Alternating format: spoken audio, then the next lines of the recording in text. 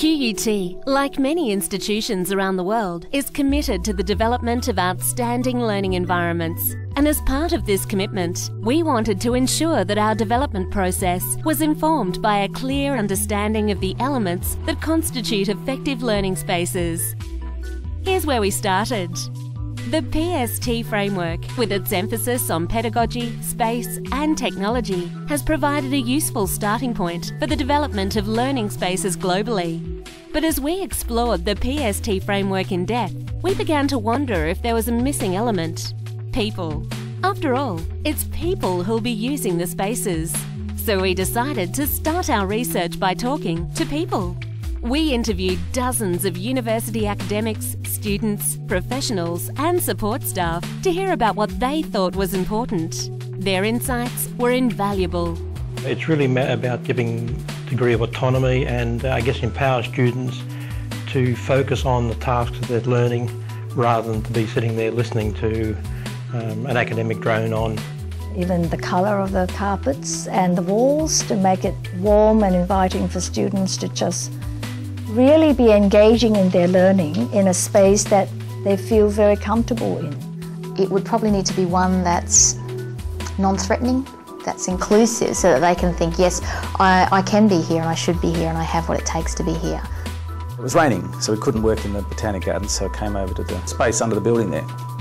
Anyway, the next day I got an email back saying that I didn't have permission to use the space because uh, I hadn't applied seven days before. So because it's raining, we can't use this. You know, what, what do cancel the classes? Because I have to have seven days notice if I want to use the undercroft. In a learning space where everything seems quite seamless and technology is easy to use, to access, to distribute to the students, then I think students will take away a very positive um, learning experience with them. Make sure that you're um, creating environments that can be flexible and open to new opportunity. The social spaces are also learning spaces, that the spaces have lots of opportunity for um, outside the classroom collaboration. What we're after is something that's um, reasonably economic and is easy to maintain. And uh, but by maintenance, I mean you know the physical repairing things, but also things like cleaning, um, uh, that operates well doesn't impact on adjacent neighbours. Increasingly, the curriculum requires students to work in groups, and of course, there's a technology aspect to that as well. But we need to be clever about the deployment of the technology so it's there, but it's not technology for technology's sake, and that it's able to be used and is presented or supplied in such a way that it doesn't impinge on the space, if you like. We collected these thoughts, analysed, grouped, and developed them into a new framework for designing or retrofitting university learning spaces. This new framework integrates pedagogy, space, technology, and people, and is made up of four key design elements engagement, empowerment, ease of use, and confidence. And within these elements are eight principles based on our research that we believe make an effective learning space.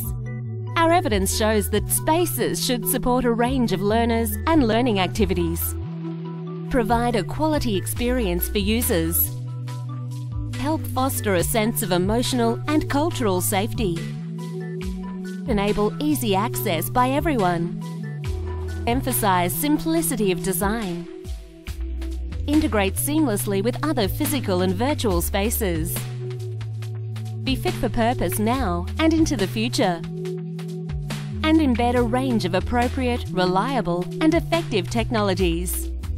These principles can be applied to create simple, affordable and scalable solutions to help improve the quality of existing learning spaces. Here are just a few of the 25 simple ideas we've come up with for redeveloping university learning spaces. Don't try to get it perfect and don't make any changes that can't be easily revised in the future as learning styles, needs and users evolve. Start at the bottom. When selecting chairs, think about your investment. Quality chairs may be a bit more expensive, but they can support the students for longer activities. Free the technology. Consider mobile LCDs and laptops that can be moved around, even taken outside the room, and still remain connected to digital resources and back-end systems. Think beyond the four walls. Spaces around the university campus, like corridors and outdoor areas, can be refitted for quiet study, breakout group work, extension activities, and general student interaction. These are just some of the practical solutions that have been developed from our evidence-based research. Based on trials conducted, we're confident that our framework will result in better learning spaces for staff and students. Visit us on the web for more details.